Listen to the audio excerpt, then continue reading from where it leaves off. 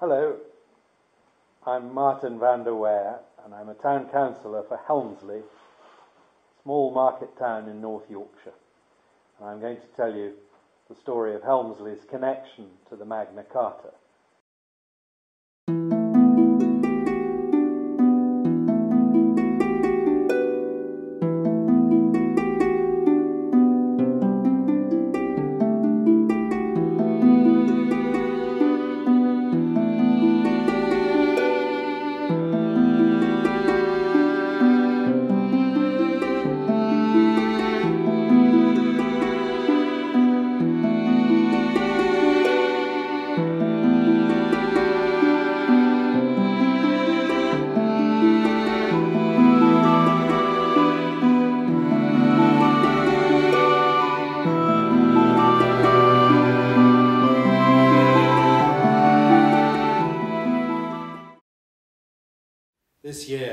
2015, is the 800th anniversary of the achievement of the Magna Carta at Runnymede, when King John agreed to grant rights to the free men of England that have come down through the centuries and formed the basis of the rule of law not only in England but actually throughout the English speaking world. So, what is Magna Carta and what is Helmsley's connection to it? Well, actually, Magna Carta is a drab looking object. It's a piece of parchment about the size of an A3 sheet of paper. Um, we have a facsimile copy of it in Helmsley that will be exhibited in Helmsley Castle this summer. But as an object, it's not the most exciting thing you've ever seen. It's something where you have to use some imagination to understand its historical importance and the resonance that it's gathered over these eight centuries. It was actually repudiated within nine weeks of that event at Runnymede on the 15th of June 1215. It was then revived, it was kicked around, it was ignored for long periods of history, and then adopted in the United States when they wrote their constitution, became revered over there, and so on. So it's had a kind of turbulent history. Only three or four of its 63 clauses are still active as part of English law, yet it's an artifact of world importance, carved into history, a kind of totem of the liberties of free men and women. So, that's the Magna Carta, but what's Helmsley's connection? Well, I'm going to talk about a medieval baron called Robert de Ros, spelt R-O-S, but pronounced as though it was R-O-O-S, Roos. He was the Baron of Helmsley at the time, and let me tell you about him. So we'll start with his great-grandfather, who was called Peter, or Piers de Ros. He was the steward of Holderness, which is, of course, an area of East Yorkshire towards the east coast. He was the steward on behalf of the Lord of Holderness, who was William the Conqueror's nephew, so a big, big man of the Norman aristocracy. And Piers de Ros married a girl called Adelina le Spec. She was the youngest sister of Walter le Spec, who people in and around Helmsley will know the name of because he was the founder of Rievaulx Abbey, and he was the kind of great baron of the north of England of the early Norman era. So, Peter and Adelina became the lord, the, the keepers of Helmsley Castle and the estate round about. And Peter had a grandson called Everard. He married another Norman lady called Rose Trusebut from Warter in the East Riding, and their son was Robert de Ros, who I'm talking about. So, what do we know about Robert? What do we know of him? What's left of him? There is a tomb effigy of him, which uh, is in the Temple Church in London, and it was described by an 18th century writer as the most elegant of all the tomb figures in the Temple Church. A comely young knight in mail and a flowing mantle with a kind of cowl, his hair neatly curled at the sides, and so on. He had a lion at his feet, and the whole figure measured six feet two inches. So, a tall and handsome knight, we can imagine. We know what his coat of arms looked like. It had three symbols on it, which were water bouget, or budgets, or leather bags. Uh, and there's a kind of medieval pun that the origin of that is in his mother's surname, Troussabou, which could be a way of saying trois bu or trois bouget, three budgets. Anyway, we've got the coat of arms, and we know that their first family seat was a little village uh, in Holderness, in East Yorkshire, between Hornsea and Withernsea, which is still called Roos today. Uh, and we can see there some remains of a castle at Roos. His mother, being from a Norman family, connected him to estates in Normandy. So there's also a castle uh, in the Calvados region of France called Bonneville-sur-Touques, uh, which survives as a, as a partial ruin, but looks very like the kind of castles that the Normans were building in England at the time. Anyway, our Robert de Ros had Helmsley as his baronial seat, or caput in medieval English. And he did two great things for Helmsley. The first was that he started rebuilding the castle of Helmsley in stone. Before his time, it was a castle made of earthworks and a kind of timber fortress on a big earthwork base. He rebuilt it in stone, and we can still see some of what he built, though it's not the main structures of the castle today. I'll show you a, a plan of the castle. Here it is. North and south. What Robert de Ros built around 1200 is a ring of walls and towers, six towers, a wall about four and a half metres tall, with small entrances through it so that his men could actually come out and see off marauders when they attacked, but a pretty formidable stone fortress for the first time. Later in the 13th century, his grandson built some more fortifications, the South Barbican, which is a very fine feature still visible today, and some north fortifications. But if you want to see what Robert de Ros, the Magna Carta Baron, built, it's the lower walls that still exist all the way around, rather rougher looking than the later buildings, all the way around the castle. So he was progressive in the sense that he, he improved the castle considerably, made it a much stronger fortress. But he also did something else very important for Helmsley, which is that he gave Helmsley borough status for the first time. What that meant was that um, Helmsley became uh, a small town in its own right. Previous to that, the people of Helmsley were effectively serfs. They were, they were feudal servants of the Baron of Helmsley. They were in manorial serfdom all their, all their life. But he granted borough status, which means some of the people of Helmsley became what were then called burgesses. Burghers is another word, and they had a certain amount of freedom. They occupied uh, freehold patches of land, and we still have in Helmsley long, narrow back gardens in parts of the town, which are the burgage plots that they were granted. Um, they didn't actually own them outright, but they paid a money rent to the baron instead of uh, doing manorial service as, as serfs. And he also licensed the market for the first time. So the market that still exists every Friday in Helmsley dates back to the era of Robert de Ros and the prosperity of the town, which had been a pretty poor place in earlier days. There were only 30 citizens of Helmsley. Eh, in the Domesday Book, part of the much of the land around Helmsley was laid waste by the Normans after the Norman conquest and so on.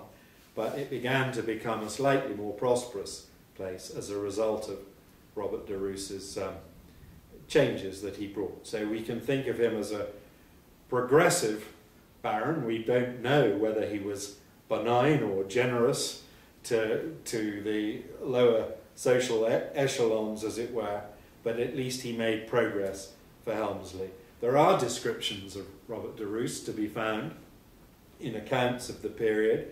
Uh, the great historian of Magna Carta, Sir James Holt, uh, in his book about Magna Carta, published 50 years ago, uh, describes Robert de Ros as a vigorous and persistent disseisor, that means a dispossessor of other people's lands, whose men attacked the bailiffs of the Sheriff of York with bows and arrows in 1220 when he was fighting to get his own lands back and put them to flight.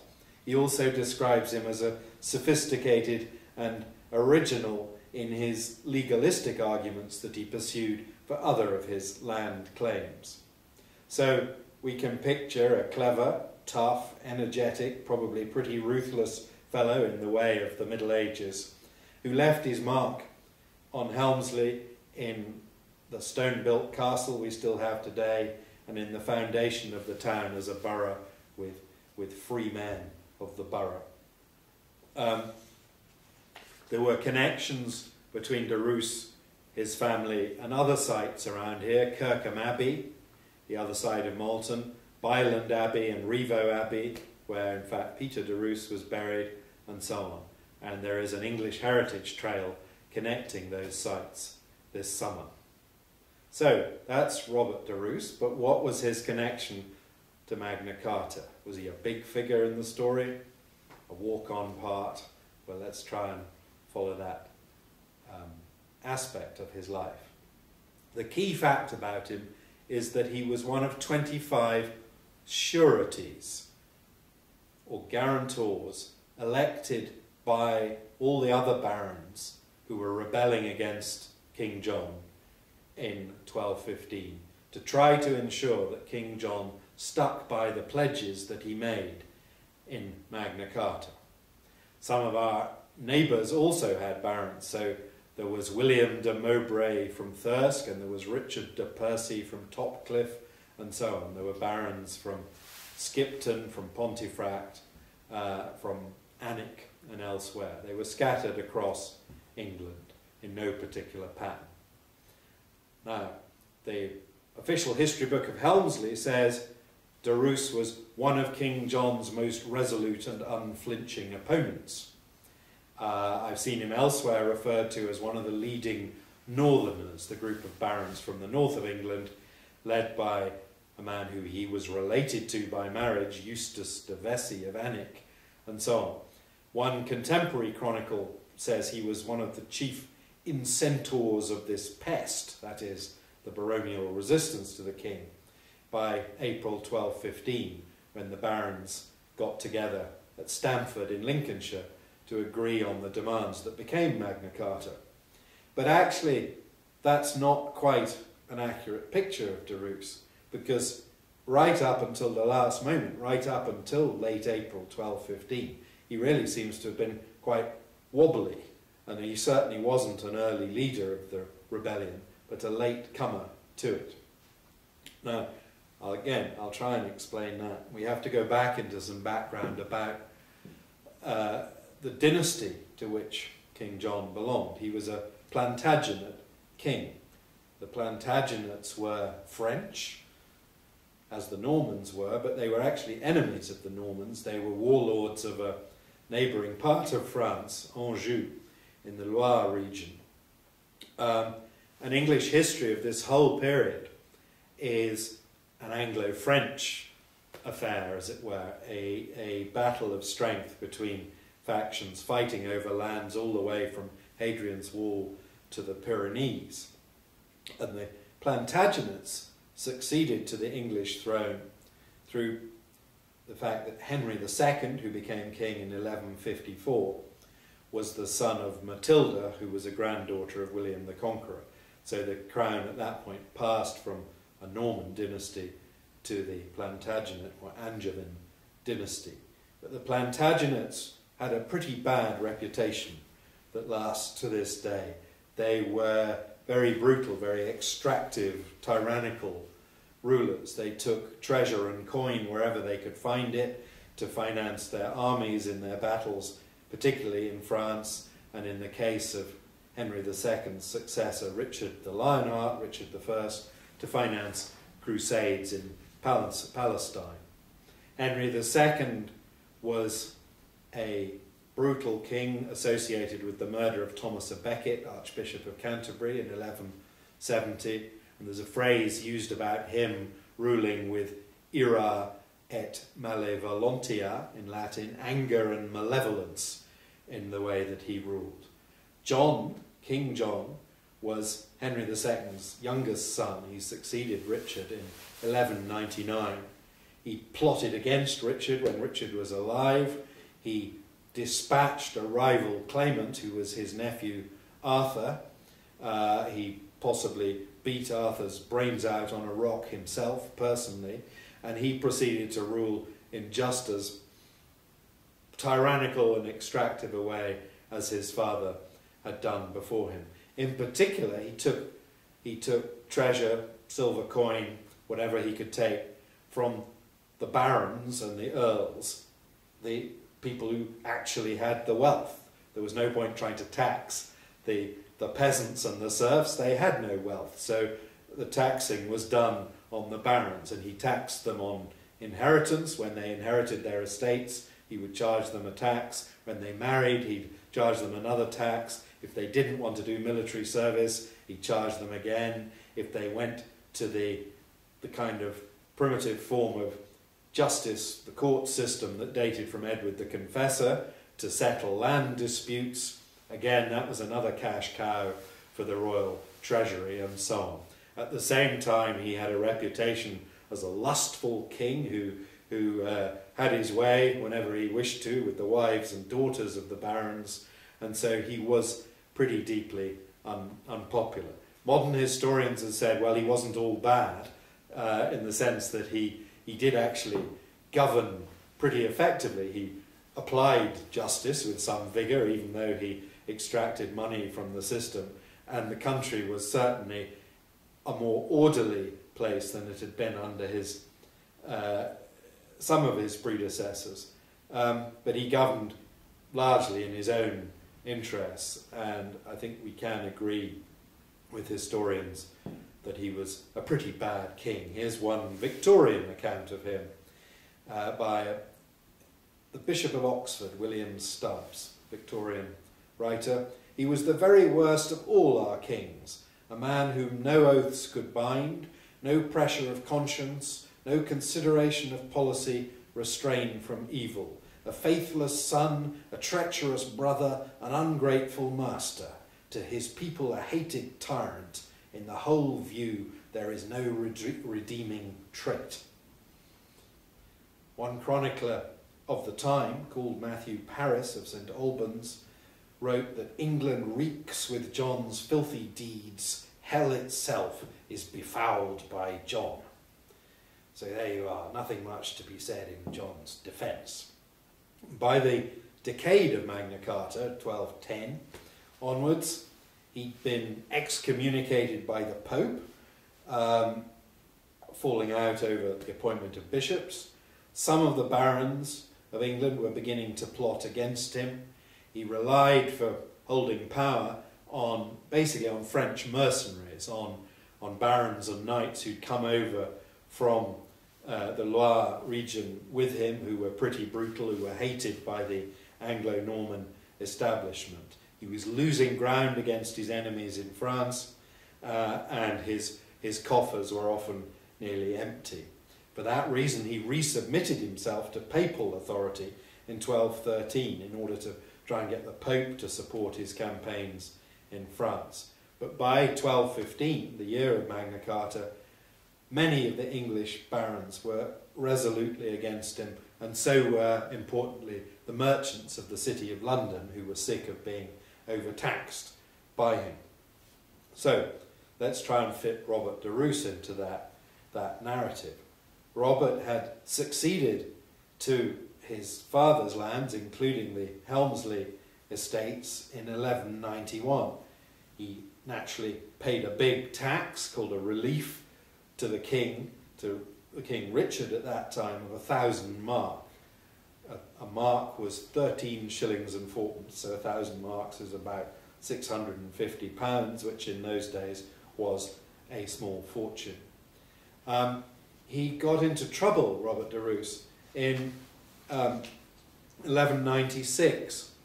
He was in Normandy uh, with Richard I, and he was asked to take charge of a prisoner, an important prisoner, uh, captured by King Richard, called Hugh de Chaumont, and he held him in his castle at Bonneville in France. But Robert de Ros's servant, who was the keeper of the castle, was bribed into letting this man de Chaumont escape. Um, the servant was hanged, and Richard imposed another huge fine on Robert de Ros, this time 1,200 marks. So that's so far 2,200 marks he's been fined. And he takes years and years to pay off his debt. And what I think you see happening over the next few years is that he's permanently in hock, first to Richard, then to John. And he's somewhat loyal, but always in a rather sort of tense relationship. Robert de Ros married a Scottish princess, in effect, a daughter of William the Lion, King of Scotland. And uh, in the early years of John's reign, John used him as a kind of diplomat to go and visit his father in law, William the Lion, and set up meetings between the two kings and so on. Uh, Robert was obviously quite well in favour for a while. He was given more land. He was given all the lands that Walter le Spec um, had held in the north of England in Northumberland, including Wark in Northumberland, where he built another castle. Uh, he served in Normandy for John, he did various other services for John, and so on. But there are other parts of the story where he's clearly in John's bad books. Uh, at one stage, Robert's son is held hostage by the king, uh, probably in an attempt to make him pay over more money. Anyway, largely, Robert stays in favour with the king right up until 1212, 1213. Um, he's appointed Sheriff of Cumberland, an important job in the north of England. Um, he's given more lands and manorial rights. He's given a license to sail a ship uh, across the seas laden with wool and bring back wine in exchange and so on. He was a witness to John's surrender of the kingdom to the Pope in 1213. And right up until the, actually the beginning of April in 1215, he's receiving more favours from the king that suggests uh, he's still on the king's side. The king even intervened with the Bishop of Winchester to make sure that an aunt of Robert de Ros became the abbess of Barking in Essex, uh, for which the other candidate was a sister of one of the, by then already declared, baronial leaders, a man called Robert Fitzwalter from Essex. So maybe the king was trying to keep buying Robert de Ros's support. Maybe Robert was truly loyal to the king. But suddenly, in April 1215, he effectively changes sides. He joins up with the rebel barons at Stamford. He helps draft the Charter of the Barons, a separate document which still exists, which was in essentially their wish list, what they wanted in the Magna Carta. And he went to Runnymede and at Runnymede he was one of the 25 barons elected as sureties to compel the observance of the Great Charter that was agreed on that day. So, an interesting point of history is did the king sign the charter? No, he certainly didn't. He probably couldn't write. The only people who could write in that age were were monks and clerks uh, whose job it was to do that. Did he seal the charter at Runnymede? Probably not again, though there are many images of him doing just that and also with a quill pen in his hand, but they're probably wrong. What he almost certainly did was swear an oath, and the barons swore an oath, and the oath was witnessed by the Archbishop of Canterbury, Archbishop Langton, who was there, and then the kings uh, writing office, his chancellery, produced something like 40 copies of Magna Carta, sealed them with the royal seal, uh, and sent them around the country so that the people of England knew that this had happened, because of course there was no other means of broadcasting it. What was the Magna Carta? Well, it was a peace treaty, though not a very successful one. England was on the verge of civil war at this moment. The barons, the merchants of London against the king and his loyal French uh, subordinates. It was a settlement of certain particular grievances of the time. It names some of those French henchmen and mercenaries who were with John and says they were to be excluded from powerful positions henceforth. It deals with a rather curious thing fish weirs in the Thames and the Medway. Why? Because fish weirs were impeding the ships that were so important to the trade of the merchants of the City of London. It guaranteed some traditional freedoms of merchants and other cities. It established a standardization of weights and measures, um, which was a major step forward. Uh, and importantly, it um, granted freedom to the Church of England. Uh, and that was the important point inserted by Archbishop Langton. In some ways, it was conservative rather than progressive. It restated a lot of existing principles of feudal and forest law. It followed a tradition of charters in which preceding kings on their accession and at intervals during their reigns would issue charters saying what rights they agreed uh, belonged to the barons and the, the people of England, but they were more often than not breached almost immediately by the kings who, who reigned by divine right, so there was no sanction to stop them if they didn't abide by what they'd said they would abide by. Foreign monarchs did much the same thing. Uh, so it was a lesser, lesser set of pledges than it, than it sounds. And when it talks about free men, it doesn't mean that all the men and women of England uh, in fact, least of all the women of England, but uh, not all the men were free by any means. Many were still in feudal serfdom, but some were free, and it did give them rights and liberties, particularly to trial by jury and, and a justice system uninterfered with by the king. But what was different about this over all previous charters was the appointment of these 25 sureties, these barons who had the right set down in the Charter itself to enforce it on the king and make sure that he did what he said. Well, so that was a beautiful idea and a step forward in, in constitutional uh, law, but it made no difference at all to John, who secured an absolution from his oath from the Pope nine weeks later uh, and repudiated it. And so civil war then ensued again. Robert resisted the royal fight back. He fought with the other northern barons. He held out uh, in his castle in Northumberland for quite a long time. Uh, he was excommunicated by the Pope. His lands were given to a loyal earl, an earl who was loyal to King John, and so on. After King John died, only a year later, October 1216, Robert was still resisting up until a battle at Lincoln in 1217, where his son was captured. But sometime after that, he basically gave in. Uh, he submitted himself to Henry III, the boy king who followed John.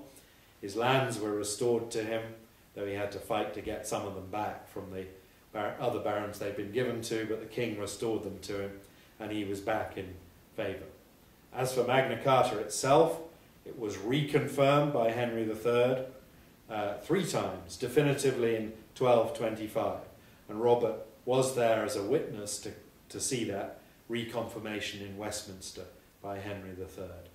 And the 1225 version is held in as much reverence in legal terms uh, today as the original 1215 version because it contained a new clause which made it apply in perpetuity um, that if anything contrary to this charter is procured from anyone, it shall avail nothing and be held for naught. So, what happened to Robert? He was now probably in his late 40s.